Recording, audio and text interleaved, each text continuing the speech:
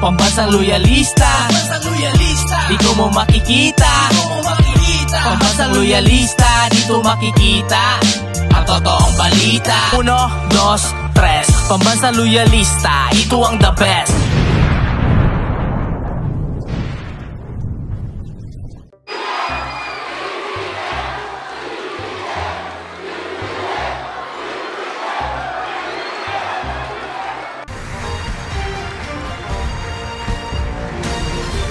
Thank you. Ah, thank you, RD Cabral. Please take your seats. So sabi ko kay President Marcos, sabi ko, Apo, Apo BBM, sabi ko, hindi naman yan pwede na magpag-graduate ka tapos wala ka ibibigay.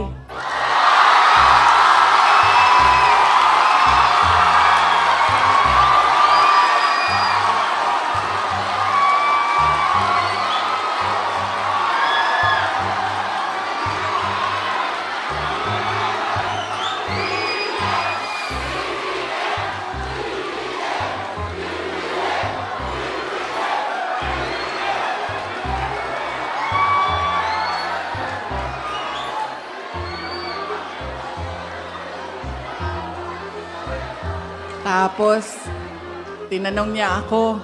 Sabi niya, ano bang plano mo? Sabi ko, yung paborito ko, white rabbit, yun ang bibigay ko sa kanila. Yung nakakain yung papel na white rabbit. Yung sa barter, doon sa Zamboanga. Yan, sabi ko, yan. Sabi niya, alam mo, Inday Sara, ikaw lang ang may gusto nun. Yung mga bata ngayon, hindi nila gusto yan.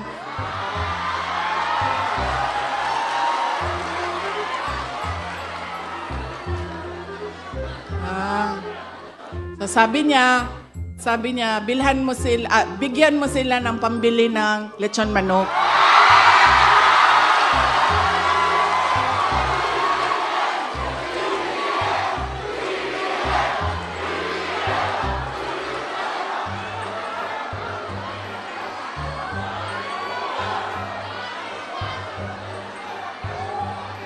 Sabi niya, magpakain ka, huwag ka mamigay ng pantawid gutom. So, naghanda kami ng regalo para sa inyo. Pagdaan ninyo, pambili ng lechon manok, pagdaan ninyo dito, bibigay siya sa inyo.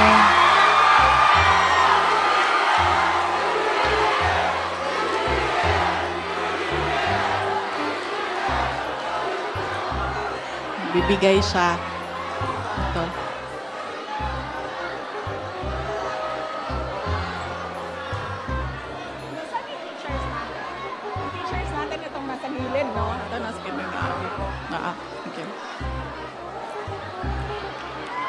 Oh, so,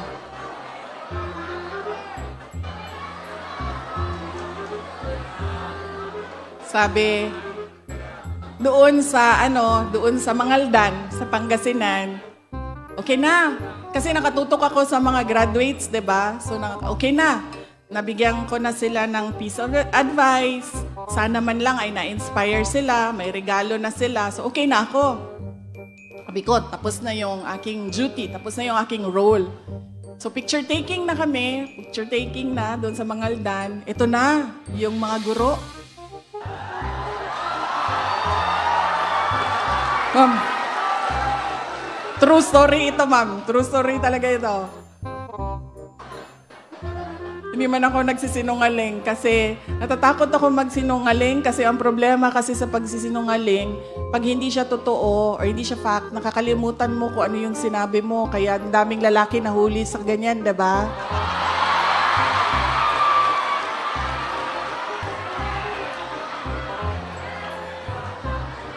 Oo. Kasi minsan, gawa-gawa lang yun ang isip mo yung, pag, yung sinungaling eh. So minsan hindi mo na siya maalala, iba na yung nasasabi mo. Kaya ako, takot ako magsinungaling. Ah, sinasabi ko talaga yung totoo para lagi pag inuulit siyang tanong or inuulit ko siyang sinasabi, yung totoong nangyari ang, ah, so totoo ito no ma'am. Nakaupo na ako dyan, picture taking na kami, sabi nung isang teacher. Ah, ang pagkakaalam ko kasi, hindi sila pinapalapit. Pero yung isang teacher, sabi niya sa akin, Ginanyan niya ako. Inday Sara. Sabi ko, yes ma'am. Gandang gabi, sabi ko sa kanya. Sabi niya, alam mo ba na kumakain din kami ng lechon manok?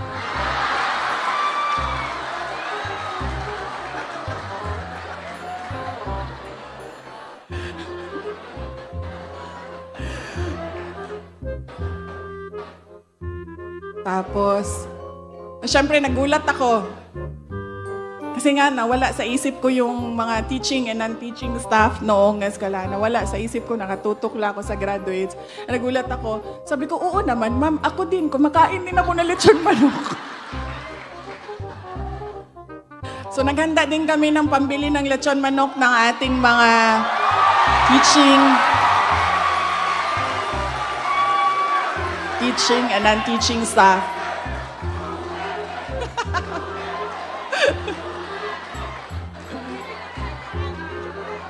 Oo. Which is, naisip ko na okay lang din na naghanda kami para sa teachers at sa non-teaching personnel natin and of course sa ating uh, school head, sa ating principal. Dahil naisip ko, baka naman kung hindi kami maghanda, sasabihin pa nung teacher, Uy, mag-share ka naman sa lechon manok mo.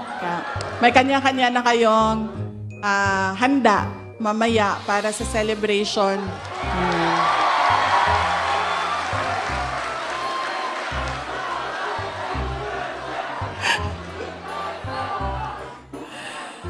Okay? Sandali lang kayong mga tiga-Aurora. Nagagalit na.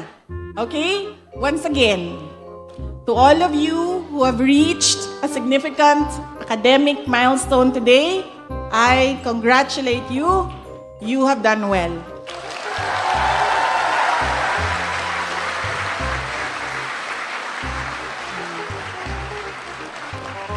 Mga kababayan, patuloy tayo na maging matatag tungo sa isang bansang makabata at mga batang makabansa. Ang lahat ng ginagawa natin ay para sa Diyos, sa bayan at sa pamilyang Pilipino. Syukran.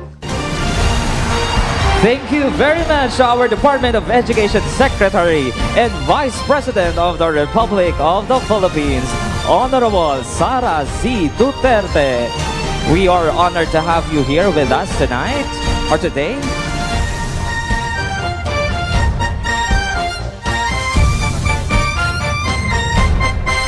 So batch one, be ready. Batch one for the photo opportunity. Okay, let's first take a moment for a group shot or a crowd photo with our esteemed guests.